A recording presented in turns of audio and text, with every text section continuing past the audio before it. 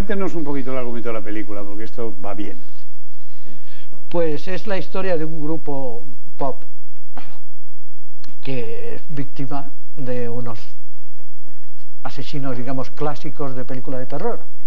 O sea, la idea surgió de que yo he hecho muchas películas de terror, de, las llamadas góticas, ¿no? de clásicas, y las víctimas suelen ser unas cantantes o, prostitutas de Soho o unas cosas así, ¿no? Y ahora es cantante. Sí, pero las prostitutas. ¿No lo has visto? Sí, sí, sí, no, claro, claro. No, que quería establecer bien claramente las cosas, ¿no? Y entonces ahora hay muchos más grupos de rock y de pop que, que canzonetistas de Soho, o sea, que es mucho más lógico que las víctimas, siendo por fuerza, tenía que ser gente joven, pues eh, sea un grupo de rock. Y ahí es viene la... Clásica historia de un grupo de rock que se pierde y lo pillan a ver si se los zampan. Cómo, cómo, surge la, la participación de, de, Silvia en la película? Porque ustedes en principio son un grupo, aunque ya usted pertenece, a un grupo anterior, pero Killer Barbies tiene muy poca vida, ¿no? Tienen, llevan un año y pico. Sí, un año. Entonces, ¿cómo, y en principio no, no, han colaborado en ninguna otra película. ¿Cómo surge la colaboración entre Jesús Franco y... Yo. pues nada, un poco fue por medio de, de Tommy, no sé el apellido, soy un poco desastre. Y, y bueno, eh, gente de Canal Plus que querían recuperar a Jesús Franco y le propusieron hacer una película. Entonces, por medio de ellos, eh, Jesús conoció al grupo Killer Barbies y le gustó mucho la idea de las muñequitas, Oiga, y la pulsera que lleva usted, que es colosal, ¿eh? Esta es monísima. Me encanta. ¿Y los tatuajes? No, este es pintado. Ah, es pintado. Pero sí, lo bueno es que me cambio modelito todo. ¿Podemos ver el auténtico? Ese, es genuino. Sí. ¿Hecho aquí, Made in Spain? No, este me lo hice fuera.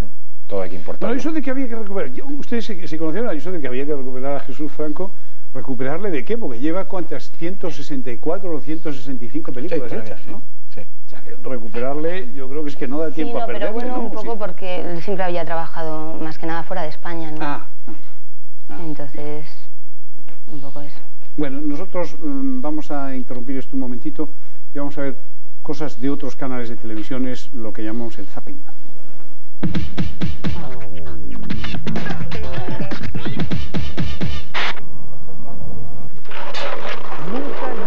bajado antes a 200 km por hora en bicicleta por la nieve. Lo ha hecho un francés, Eric Vagon, en Bars, en los Alpes franceses.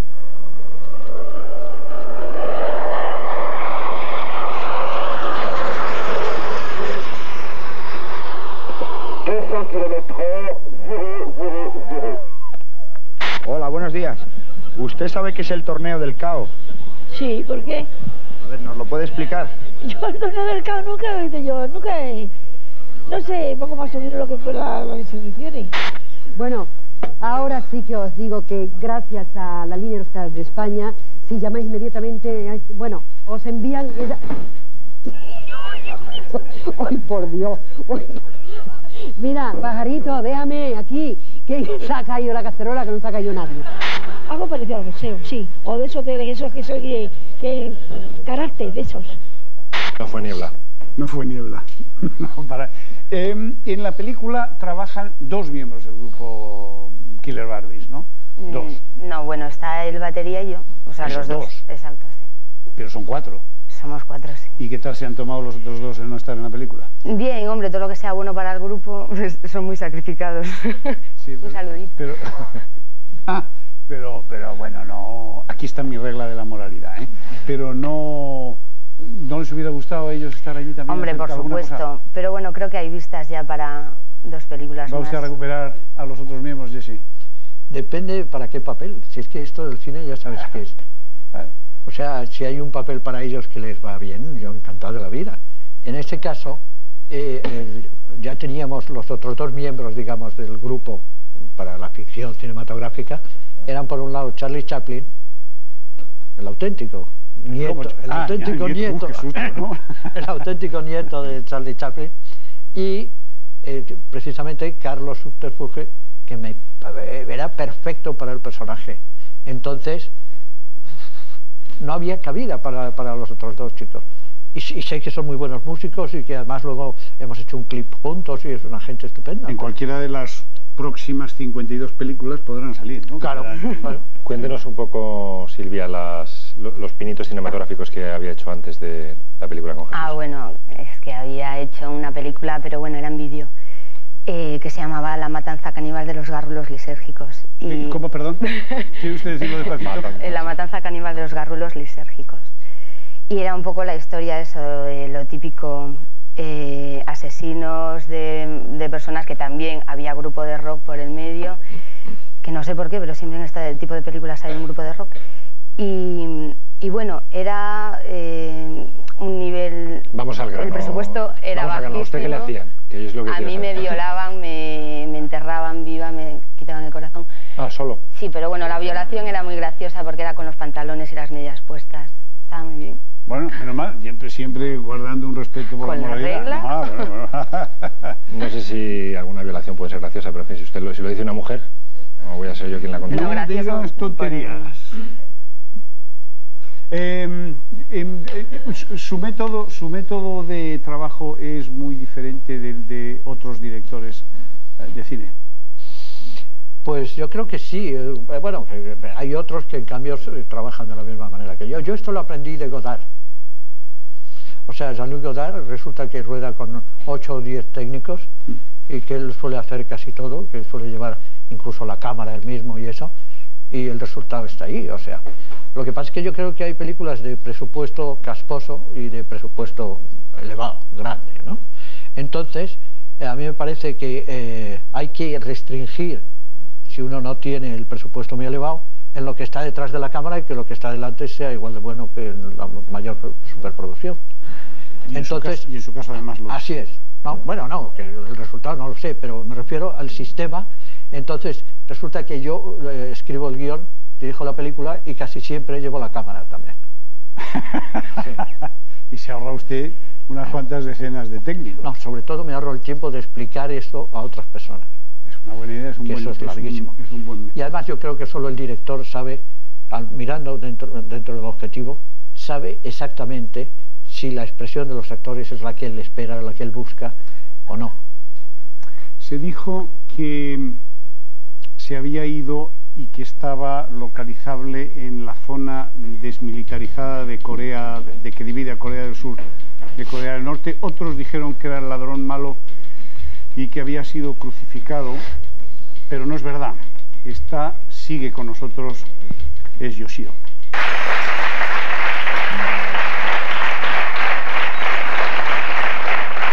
Oye, ¿qué pasa? Haz el favor de devolver la muñeca, que la has virlado que te he visto. La negra. Vamos. No puede tener ni, una perversión pequeñita, oye. Vamos. Desde luego. Qué imagen. Bueno, tenemos las noticias del día con el, eh, con el guiñol dispuesto, preparado.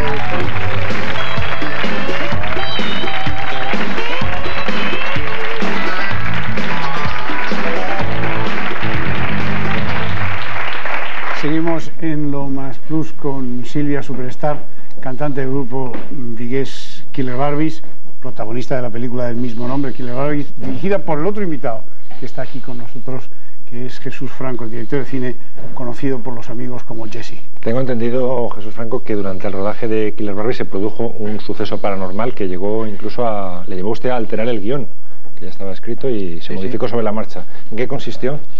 Pues consistió en que nosotros habíamos localizado en un caserón espléndido, antiguo, y, de repente eh, nos explicaron la historia, que había un encantamiento en aquel caserón, que había un monje, porque este sitio había sido convento hace varios siglos, que se había suicidado colgándose en su celda y que entonces eh, la celda había sido tapiada y la ventana cegada y entonces habían pintado sobre el muro resultante, habían pintado una ventana, pero que este monje en ciertas eh, veces aparece, ¿eh? como si se asomara a ese balcón, y aparece, y entonces los, nuevos dueños, vamos, a partir de aquel tiempo, pintan encima y eso, pero el monje vuelve a aparecer según las épocas del año. Como los carteles que se pintan después de las manifestaciones. Viva la CNT. Pinta una mano de pintura y fuera. Y vuelve a aparecer. Exacto, pues lo mismo. ¿Silvia lo vio? A mí me lo enseñaron en una fotografía, me lo dibujaron por encima porque... Aquí el amigo es un fantasioso, es guionista, pero...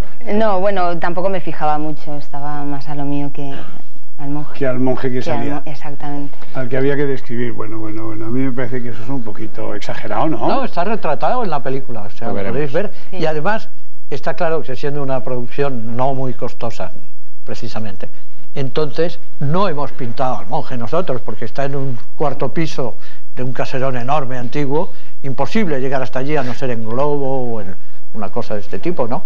Entonces, ese monje, yo no sé por qué misterio, pero yo creo que es por según la luz que le da hay momentos en que se ve pero, pero tuvo, pero tuvo efectos mm, positivos o negativos el monje eh, positivos para la película yo creo pero negativos para el rodaje porque yo me caí no me partí una pierna de milagro y luego mi ayudante de dirección sí se dislocó directamente un hombro eso conozco yo. Eh, sí, pues esto. Y, luego hubo un par de, accidentes más de ese estilo. Y vamos, hubo un accidente de coche también. Y, entonces la gente decía que era el monje. Yo pienso que no era el monje, que era la, vida, que es así. bueno. bueno, el 12 de mayo creo que se estrena, fecha prevista en principio, porque estas cosas nunca se saben, de Killer Barbies. Si todavía hay alguien entre ustedes que no sabe quién es Jesús Franco, pues esto es un resumen de su obra.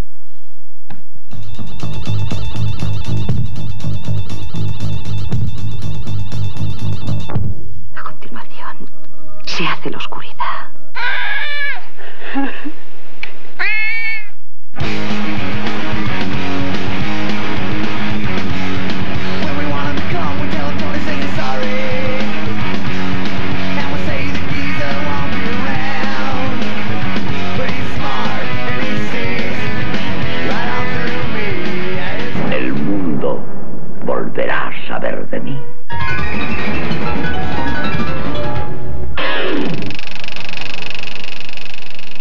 ver este, este repaso vertiginoso de sus películas mm, pues sugiere varias preguntas. Por ejemplo, ¿es posible hacer dos películas a la vez y no estar loco, como dice el bolero de Machín? Eh, no lo sé, pero dos seguidas, una detrás de otra, y no estar loco sí es posible, porque no estoy más loco que la gente normal de la profesión, ¿no? Mm. Pero porque se ha, inventado una leyenda de que yo hacía dos y tres películas al mismo tiempo y eso. Pero lo cierto es que lo que sí he hecho muchas veces es terminar una un sábado, por ejemplo, y el lunes empezar otra. ¡Caramba! Eso sí lo he hecho 164 pelis tiene este hombre y además eh, comentábamos eh, antes Fernando y yo que es lo contrario de Víctor Erice, que hace una película cada 10 años.